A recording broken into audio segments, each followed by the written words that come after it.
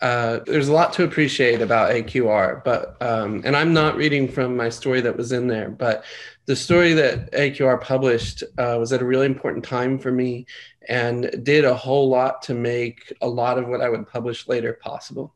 And I think that that's something that gets missed a little bit um, in talking about literary reviews, especially ones that have been doing this for 40 years. Uh, I think AQR might have even been commended on the floor of the Senate or something like that. So it's not always um, just the quality of the magazine, which is great, but also what they make possible for writers like me uh, that is really great about AQR. So uh, I'm going to read um, most of a scene uh, from my new novel manuscript, and uh, there's not too much to say about it except for that it takes place in the summer of 2003. Um, when uh, these uh, four best friends have met up in Venice after not seeing each other for several years, and two of them have new partners.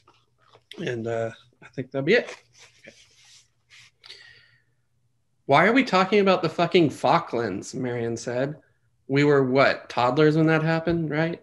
Well, most of us, Kevin said, flicking his eyes to Bruno. What are we supposed to be talking about? Eloise said. Iraq, Henry said, I think. Bush, Blair, the occupation, trademark symbol. Can you imagine? Eloise said. What the hell's going to happen next? I mean, we've got to be leaving soon, right? What is that awful man word for it? Pulling out? Sensing an opening, Nicholas straightened up and said, I don't think we'll, I don't think we'll never leave. I think, excuse me, I think we'll never leave. Might as well make it the 51st state. There's only one thing you ever have to ask yourself in a situation like this what's that, sweetie? Marion said, touching his forearm. Cui bono, Bruno said, almost to himself, and Nicholas smiled. That's right, he said. That's exactly right. Can we talk about something else? Eloise said. I feel like this is what they want. What is? Marion said. Us standing around talking about it at a party, Eloise said. Who's they? Henry said. Are we at a party? Kevin laughed. The terrorists, he said to his wine, and took a drink. Marion gave her brother a, hazy, a lazy, annoyed look. Bush, Cheney, she said, the rest of the bad news bears. Elle is right, though. We should talk about something else. Now, Nick, Kevin said without energy, remind me what it is you do again. Nicholas smiled, shifted on his feet. The night went on like this. Henry watched as Kevin and Eloise took turns asking this Nicholas polite questions. He seemed just uneasy enough that Henry was sure his inclusion had been spur of the moment. Why not go on a free trip, he must have thought. Bruno, Marion said now, narrowing her eyes and letting her wine glass hover in front of her mouth. They'd moved into the living room and were sprawled or perched on various furniture like the crew in a heist movie. Someone put on an old record they found, and what Henry only just now recognized as the Smiths drip, drifted through the house. Bruno. She rolled his name around. That's not a very common name anymore, is it? The cross examination begins, Eloise said. Kevin looked away. Did you warn him, Henry? But Bruno smiled gamely. Well, I was just waiting my turn, he offered.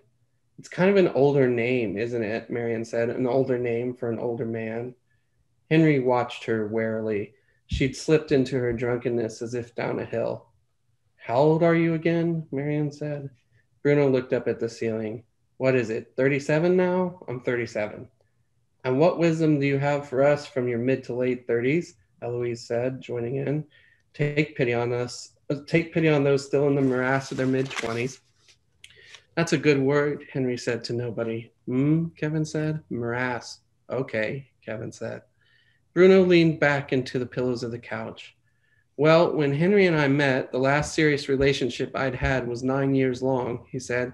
So actually, I don't know if there's much I can tell you. I haven't had a very normal experience by this age, I guess you could say. Nine years, Marion said, her voice dropping its T's. She sounded almost reverential. That's a long time to be with one person. It is and it isn't, Bruno said. Longer than most, shorter than the rest of your life. Can I ask? Marion said. Marion, Henry said. It's okay, Bruno said. What happened? She said. What do you mean? Weren't you still with whoever it was you were with for nine years? Well, I kind of got my heart curb stomped, is what happened. We were basically married. That's how I thought of us anyway. Julian, not so much, it turned out in the end. Julian, Nicholas said. There's a name that never gets a break. Ah, yes, Julian, Henry thought. Bruno's great love before he'd met Henry, one of the most surprising things he'd ever told Henry, in Henry's opinion. Up to that exact point in time when they were comparing histories, Henry had been absolutely sure that Bruno's 20s had been spent wandering from man to man the way he did city to city. Bruno had been an extremely promising dancer. The companies had all agreed. But then had come the injury, which had taken Bruno almost two full years to recover from. Not that he ever fully did. To this day, he still had to do daily exercises to keep his knee usable. This was, more or less, what Henry had assumed Bruno's approach to men was too. Henry's whole idea of Bruno had shifted that night, the way it was doing now for the rest of them. In the way of these things, Bruno had been most clear about the worst years there at the end. Julian had alternated between violent alcoholic attacks that were careful to leave Bruno with no visible bruises and desperate codependent begging. This was something Bruno could only see later, of course, with the support of his therapist and Al Anon chapter. Once, Henry had offhandedly referred to Julian in those years as suicidal, which had confused Bruno until Henry finally put his hands on the outsides of Bruno's wide, muscled arms and looked him in the face and asked him who in their right mind would ever hit someone who could so easily break their neck. Though really, Henry had been thinking, who could ever want to hurt something so finely sculpted, so beautiful, it seemed disrespectful to life itself somehow.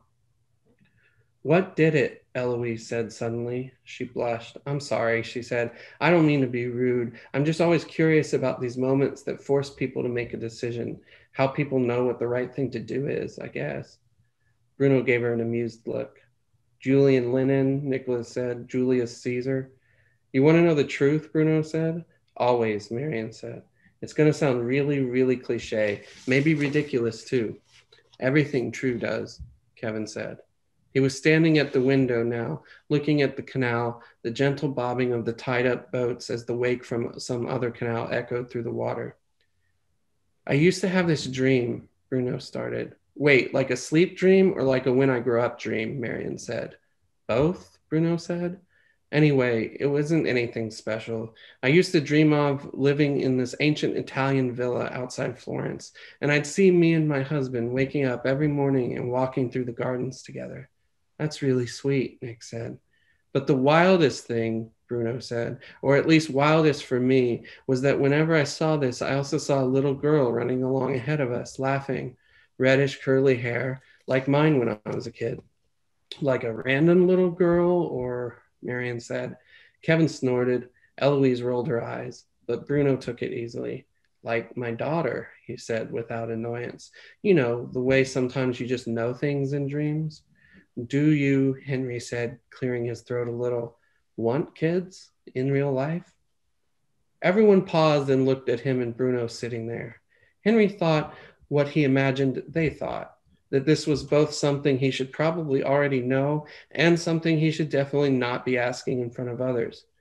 Henry didn't know why he had asked, really, other than as a small punishment for Bruno giving the others this story that he'd apparently withheld from Henry himself. They'd talked about Julian plenty, couldn't help but do so, such was the wreckage he'd left Bruno in. But this villa, this vision, this kid no less, none of that had ever come up. Bruno looked at him for a moment, and Henry wondered if it was even true. You were explaining what happened at the end with this Julian, Marion prompted. Yes, this Julian, Bruno said. Well, I woke up one morning and realized for all the times I'd imagined or dreamed this, I'd never once looked over in that dream and seen Julian walking with me. Always someone else, someone faceless, but not him. And that's the day you ended things, Eloise said. I'm confused, Marion said. Who is it that did the curb stomping of the heart then? No, Bruno said to Eloise, but that's the day I should have ended things. I knew I was leaving without leaving after that. How long did you stay together after you knew that? Kevin said. He was looking at Bruno now. Henry could feel it. A very still, patient gaze, it must be, Henry thought. About three years, Bruno said. Nicholas gave a low whistle. That's not a very good answer to your question, though, Bruno said to Eloise.